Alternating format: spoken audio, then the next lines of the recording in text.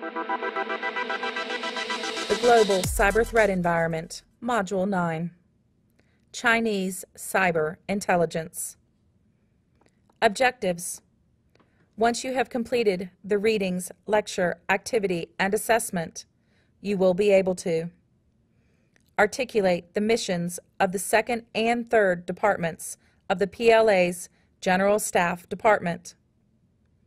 Describe the main reason that China consolidated its offensive cyber mission sets into the Strategic Support Force. Welcome to the Global Cyber Threat Environment, Module 9. In the previous lecture, we discussed how China's national security establishment watched incredulously as the United States used advanced technology to dismantle Iraq's antiquated military in the 1991 Gulf War. Knowing that China's military capabilities closely matched those of Iraq, China's then president, Jiang Zemin, quickly launched a series of long-term initiatives to bring the country on par with the other advanced nations. One way to level the playing field with the United States was to rely on asymmetric warfare. As was noted earlier, China determined that the United States was too dependent on information technology, particularly with satellite communications, and devised ways to disrupt this advantage. In addition to advancing the military's capability, China was intent on building a technologically advanced economy to compete in the global marketplace. Building a modern economy requires tremendous time and financial investment, however, so China used a simpler route economic espionage. That is, stealing intellectual property and other proprietary information from technologically advanced countries and using that knowledge to build its own industries. Who are the Chinese intelligence agencies that support these missions?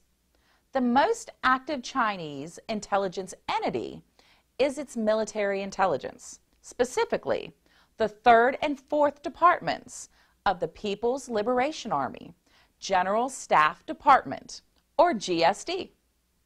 The GSD is directly subordinate to the Chinese Communist Party's Central Committee and incredibly influential.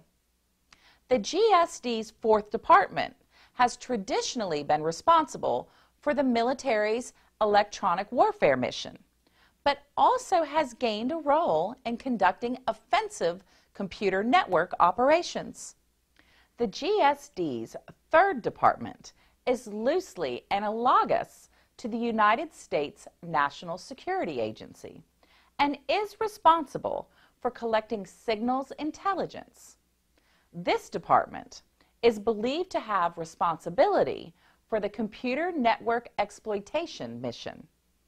As we discussed in the last lecture, a 2013 report by the cybersecurity firm Mandiant highlighted the hacking activities of a secretive Chinese espionage group, Unit 61398, which in fact has been assessed to be part of the GSD's third department.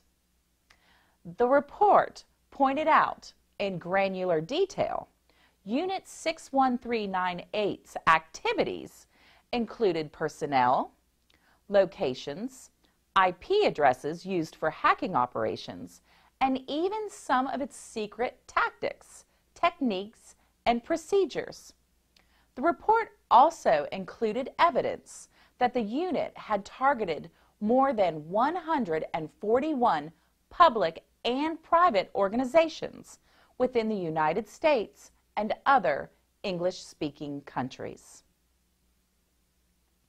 Until recently, Chinese computer network operations missions were split between units with the General Staff Department, the Ministry of State Security, and the Ministry of Public Security. The Ministry of State Security, or MSS, is a non military intelligence agency that conducts both human intelligence activities and cyber operations. It can be described as a combination of the United States, CIA, and FBI. The MSS is a sprawling agency with more than 32 provincial level departments staffed by tens of thousands of employees. Although a large part of its mission has historically been neutralizing the threat from Taiwan, the MSS is increasingly focused on collecting intelligence from political dissidents and acquiring foreign technology and diplomatic information. The Ministry of Public Security, or MPS, is also non military and one of the Chinese government's largest organizations. It is under direct control of the Chinese Communist Party leadership and operates as the country's principal police authority. The MPS has a wide range of missions, including intelligence, police operations, prison system operation, and political, economic, and communication security. The MPS developed and operates the Great Firewall of China, the sophisticated system that filters the Chinese internet of content considered subversive or contrary to Chinese values. This operation is enormous, as about 750 million Chinese citizens use the internet. The MPS is also highly involved in managing China's social credit system, whereby Chinese citizens are either rewarded or sanctioned based on the quality of their civic behavior. Combined involvement of the military, the MSS, and the MPS in computer network operations has likely caused numerous problems for China. The three entities have competed for resources and stovepiped information, resulting in organizational inefficiencies and poor coordination of effort. To combat this problem, the Chinese government announced in 2015 the creation of a strategic support force that consolidated the computer network operations mission under one roof. The Chinese government also consolidated its space forces under this strategic support force, telegraphing the growing importance of space based communication technologies to cyber warfare. Organization of these capabilities under one command that is hierarchically commensurate with the Chinese Army, Navy, Air, and Missile Forces is significant. It removes the possibility that these capabilities will be held hostage as a result of bureaucratic infighting between organizations. Just over a decade ago, China set a goal of the year 2050 to have a technologically advanced military force on par with the United States. Given the country's ability to illegally acquire intellectual property and military secrets and plans from the United States and others, actions largely credited to its intelligence agencies, China may beat its goal by at least a generation. Quiz question one True or false? The third department of the PLA's General Staff Department is roughly analogous to the United States National Security Agency. A. True. B. False. The answer is A. True. Quiz question 2. True or false?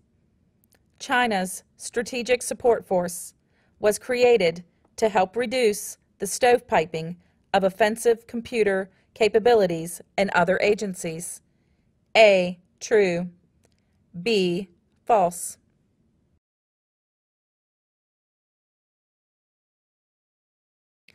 The answer is A. True. Activity. As you learned in this module, China employs advanced information technology, such as facial recognition, to surveil its citizens and quickly sanction them for behavior considered contrary to the values of the Chinese Communist Party. Write a one-page reflection regarding these initiatives. Do you think the United States would benefit from greater surveillance of its citizens in the public sphere? Or do you think this type of behavior is contrary to what is expected in a democratic society?